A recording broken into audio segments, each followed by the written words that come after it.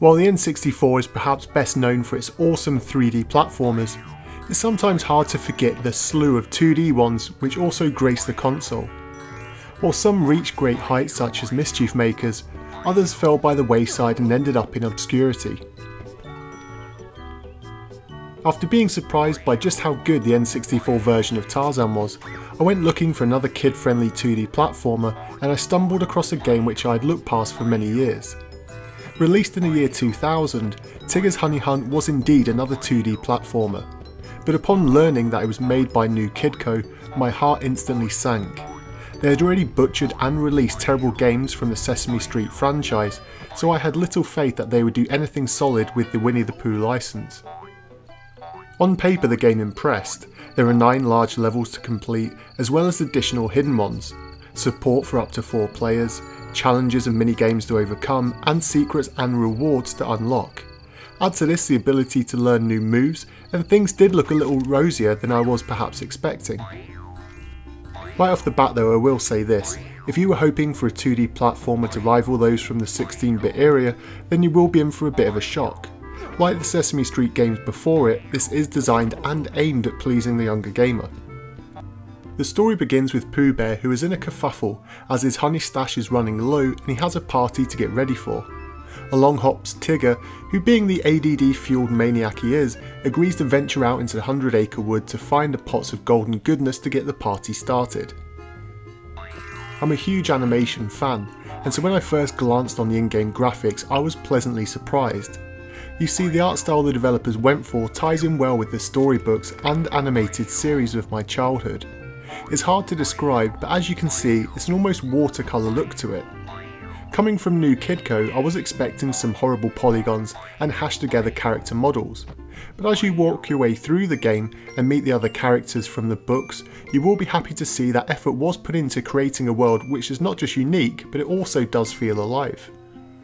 Speaking of other characters, as you bump into them they'll each give you different challenges which range from collecting objects to help them in that particular level to doing challenges which will provide you with new moves. In the spirit of most games of the time, you will need to backtrack at times to previous levels to use these newly gained abilities to access new harder to reach areas which you are not able to get to before. It does add some longevity to the game, but for anyone over the age of 10 this does little more than adding another quick playthrough each of the game's levels. You can also collect photographs in the levels, and these are stored in the game's photo album. It's nothing more than some static shots, but if you enjoy a good collectathon, then you may enjoy a quick flick through this album for its additional artwork. The game handles very well surprisingly. The only drawback is when you first start playing, it can be a little bit hard to handle Tigger.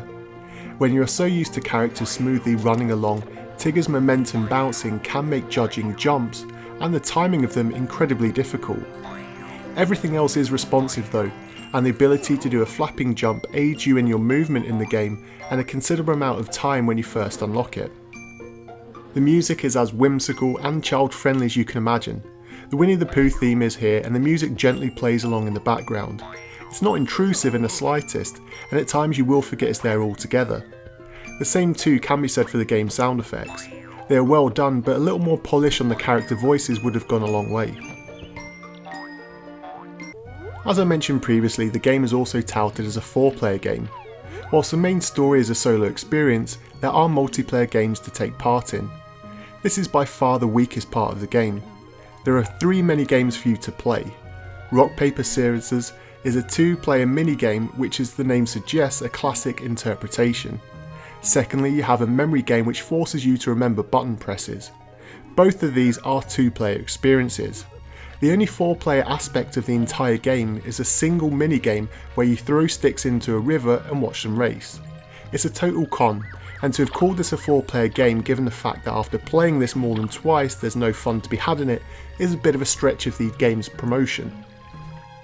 In my opinion you should never play this expecting a multiplayer blast, but as a single player game it was surprisingly fun if you can get past the initially fiddly controls.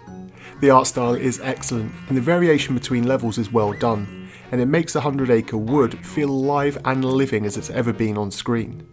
If you love the Pooh universe, then seeing the other characters pop up should give you a kick, and the level design will also have you hunting to collect everything there is to be found. It's short for an experienced gamer, but if the huge 3D platformers require too much of your time, then you couldn't really go all that wrong with completing Tigger's Honey Hunt if you have a few spare hours one day. So for today's topic of conversation, I'd love to know what classic children's book or cartoon you'd love to be made into a video game. There is one rule though, it's got to be one which has not been used before. So let me know your ideas in the comments section down below, and until next time.